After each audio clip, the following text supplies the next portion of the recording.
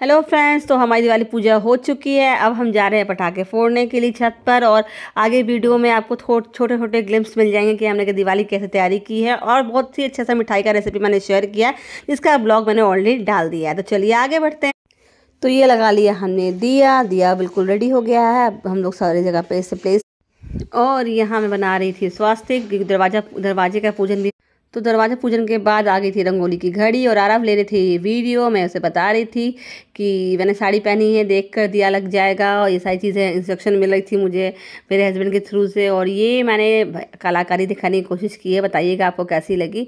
ये मेरा रंगोली है और यहाँ साइड में मैंने जो है इसे इस तरह से बना दिया है। कोशिश की है, आप बताइएगा कैसा बना है। और ये हमारा सुंदर सा मंदिर जहाँ हमने पूजा किया था, दीप जलाया था, भोग लगाया था, ये हमारे गणेश लक्ष्मी जी प्यारे प्यारे से। तो ये पूरा मंदिर का व्यू है मेरा, जिसमें मैंने पूजा किया था दिवाली का। और ये आगे दिवाली की मिठाइयाँ, ये काजू कतली मेरा फेवरेट, और ये है मिल्क केक, और ये है शॉन, जो मैंने घर पे बनाया था।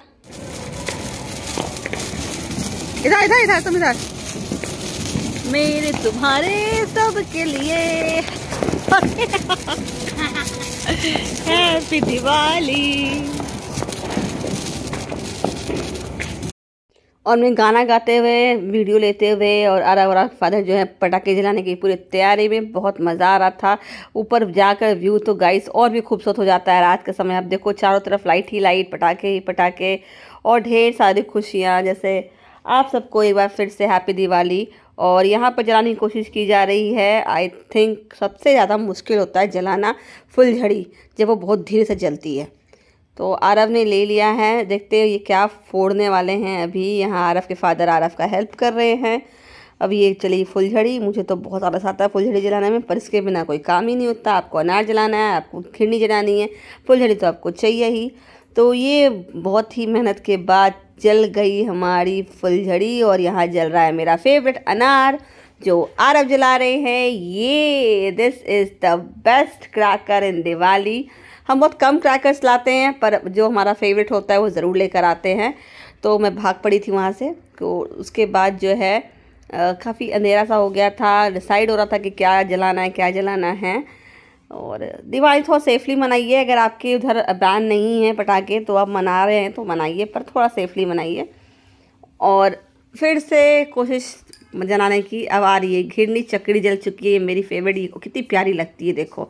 और अब आर एफ़ के फादर जला रहे हैं स्काई लैंटन ये उड़ा उड़ा उड़ा, क्या उड़ा? नहीं नहीं नहीं नहीं नहीं नीचे आ गया, नीचे आ गया।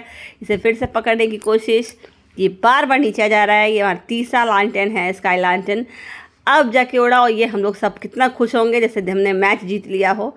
खुशी मनाते हुए हम लोग पूरी के पूरे टीम की ये हमने कर दिया। और ये स्काई लैंड स्काई में we are very very happy और बहुत प्यारा लगता है स्काई लैंड आप सबको, मुझे पता है सबको पसंद होगा स्काई लैंड डिनर टाइम था तो मैंने बनाया था पनीर चिल्ली, पुलाव, खास्ता कचौड़ी और साथ में आलू चने की सब्ज़ी। और खीर भी थी। आरब बहुत खुश थे क्योंकि उसे बहुत मज़ा आ रहा था। जल्दी जल्दी मम्मा खिला दो प्लीज़ यार। तो इसका खाना मैंने लगा दिया है और ये इन्जॉय तो फ्रेंड्स ये था हमारा दीपावली सेलिब्रेशन आई होप आपको अच्छा लगा होगा और तब तक के लिए बाय बाय देख मिलते हैं आपसे नेक्स्ट ब्लॉग में। फटाफट मेरे चैनल को लाइक करें सब्सक्राइब करें बटन दबाएँ। बाय